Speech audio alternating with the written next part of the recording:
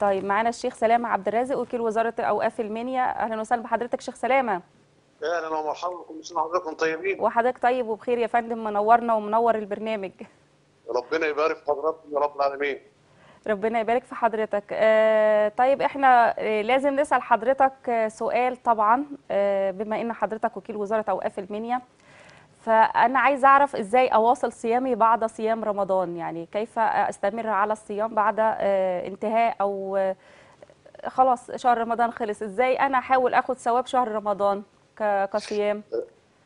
آه الحمد لله رب العالمين ونصلي ونسلم على جميع الأنبياء والمرسلين من آدم حتى خاتمهم النبي محمد صلى الله عليه وسلم وعلى آله وصحبه أجمعين. وبعد الحقيقة بانتهز الفرصة وبقدم التهاني للشعب المصري كله قيادة وشعبا ولهذا البرنامج العظيم آه، الذي له مكانته بين برامج الإذاعة والتلفزيون.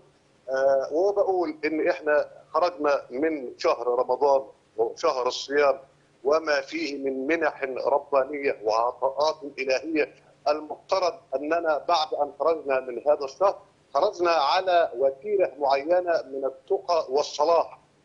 تدفعنا لأن نزداد وأن نستمر في تقربنا وطاعتنا من الله عز وجل ولله.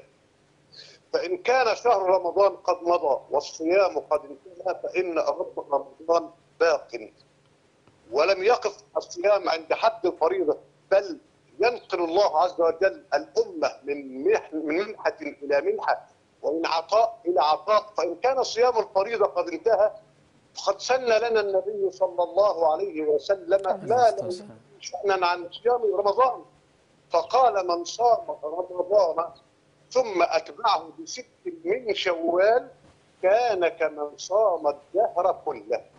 وهذه عظمة أن يجمع النبي صلى الله عليه وسلم بين صيام الفريضة وهو رمضان وبين صيام التطوع وهو ست من شوال. إذ يقول المولى عز وجل من جاء بالحسنة فله عشر أمثالها فمن صام رمضان كان كأنما صام عشرة أشهر. ومن صام ستة أيام كان كمن صام ستين يوما يعني شهرين. إذا شهرين وعشرة أشهر كأنما صام العام كله. وما ذلك إلا لأمة النبي صلى الله عليه وسلم. ليس هذا فحسب بل يستمر الصيام عندما يقول نبينا صلى الله عليه وسلم صيام ثلاثة أيام من كل شهر. وهي الأيام التي نسميها بالأيام البيض اللي هي 13 و14 و15 آه. من صام ثلاثة أيام من كل شهر كان حقا على الله أن يرويه يوم الظمأ الأكبر. ثم سن صيام الاثنين والخميس وهي أيام أيضا ترفع فيها الأعمال ويبقى فيها أعمالنا على النبي صلى الله عليه وسلم. ولنا أن نتأسى بهذا ثم نستمر فيزداد الأمر حتى إلى العشرة من ذي الحجة إلى آخر ما يمكن أن نتقرب به. ذلك لأنه حقا كما قال نبينا صلى الله عليه وسلم صوموا تصوموا ولكم أما لكم أن تتخيلوا وللجميع أن يتخيل. إذا كانت العبارة صوموا تصحوا فلك أن تتخيل مدى الصحة التي يمكن أن تعود على الإنسان من وراء الصيام. صحة داخلية صحة بدنية صحة إيمانية صحة فوق كل مكان.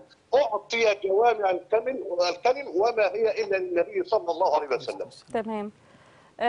يعني حد في زي ما حضرتك بتقول سنن كتير آه، سنها النبي صلى الله عليه وسلم آه، بصيام آه، أيام كتيرة زي الثلاثه منتصف الشهر العربي والاثنين والخميس.